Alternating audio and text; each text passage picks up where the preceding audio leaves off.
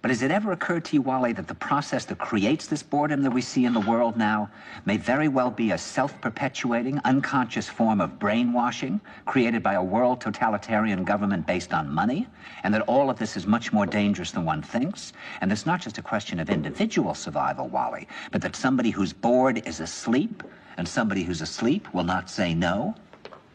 See, I keep meeting these people. I mean, uh, just a few days ago, I met this man whom I greatly admire. He's a Swedish physicist, Gustav Bjornstrand, and he told me that he no longer watches television, he doesn't read newspapers, and he doesn't read magazines. He's completely cut them out of his life because he really does feel that we're living in some kind of Orwellian nightmare now, and that everything that you hear now contributes to turning you into a robot.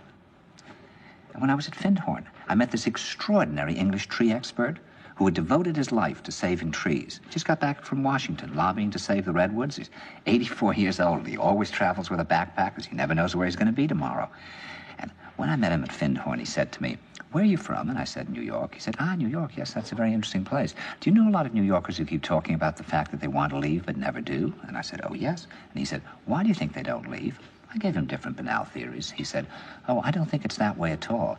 He said, I think that New York is the new model for the new concentration camp, where the camp has been built by the inmates themselves, and the inmates are the guards, and they have this pride in this thing they've built. They've built their own prison, and so they exist in a state of schizophrenia where they are both guards and prisoners, and as a result, they no longer have, having been lobotomized, the capacity to leave the prison they've made or to even see it as a prison. And then he went into his pocket and he took out a seed for a tree and he said, This is a pine tree. He put it in my hand and he said, Escape before it's too late. See, actually, for two or three years now, Chiquita and I have had this very unpleasant feeling that we really should get out. And we really feel like Jews in Germany in the late 30s. Get out of here. Of course, the problem is where to go, because it seems quite obvious that the whole world is going in the same direction. See, I think it's quite possible that the 1960s represented the last burst of the human being before he was extinguished.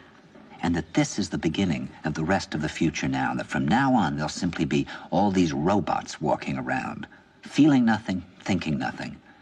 And there'll be nobody left almost to remind them that there once was a species called a human being, with feelings and thoughts, and that history and memory are right now being erased, and soon nobody will really remember that life existed on the planet.